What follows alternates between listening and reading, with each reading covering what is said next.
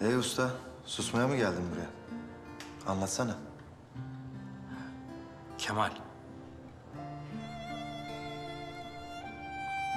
Evet usta. Güllü.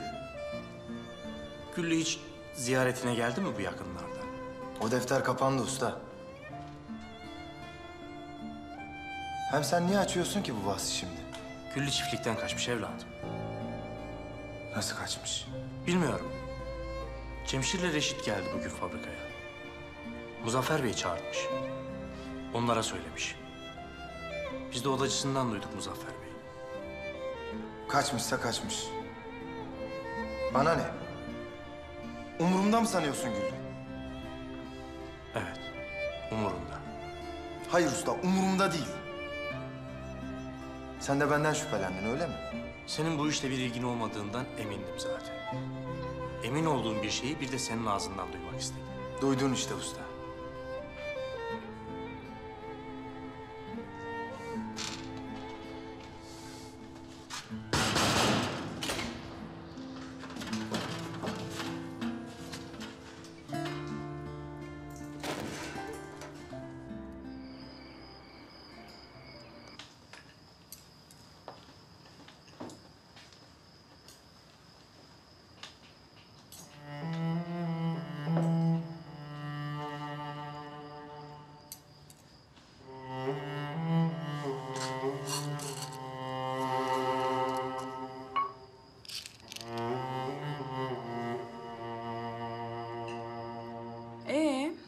Jandarma bir şey bulabilmiş mi bari?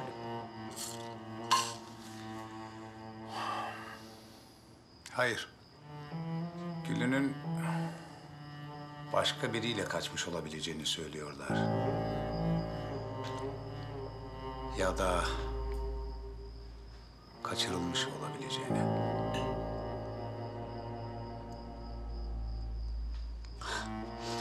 Olur mu canım öyle şey? Çiftliğe yabancı biri girse mutlaka haberimiz olurdu. İçeriden biri yapmış olabilir diyor komutan.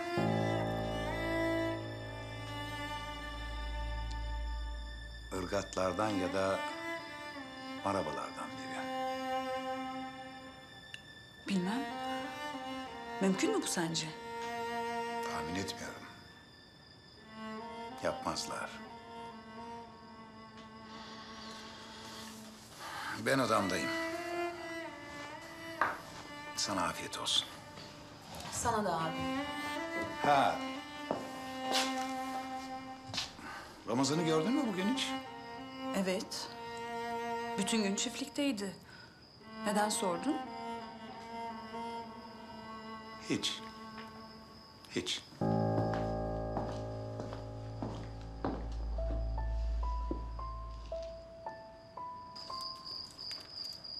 Evet Küçük Bey, bunlar da kuru köfteleriniz.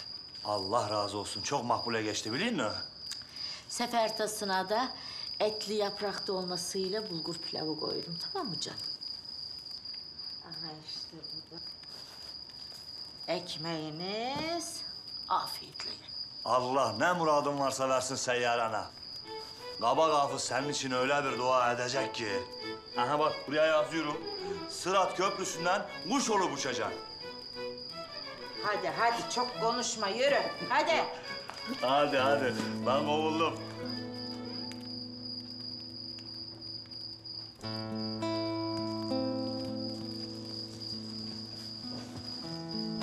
Nereye gidiyor bu elinde sepetle böyle? Kabak hafıza yemek götürüyor.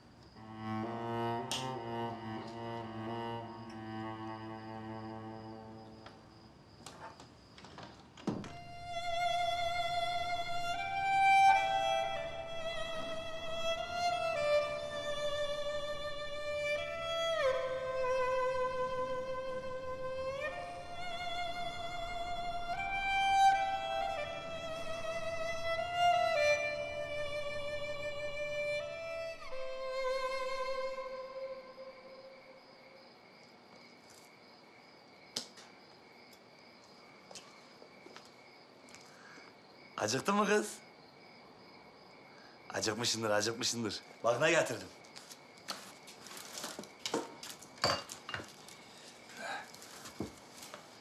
Bak, bak, bak, bak, bak.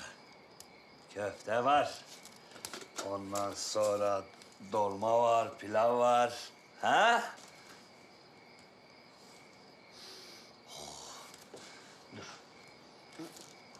Abone olarak tüm videolardan anında haberdar olabilirsiniz.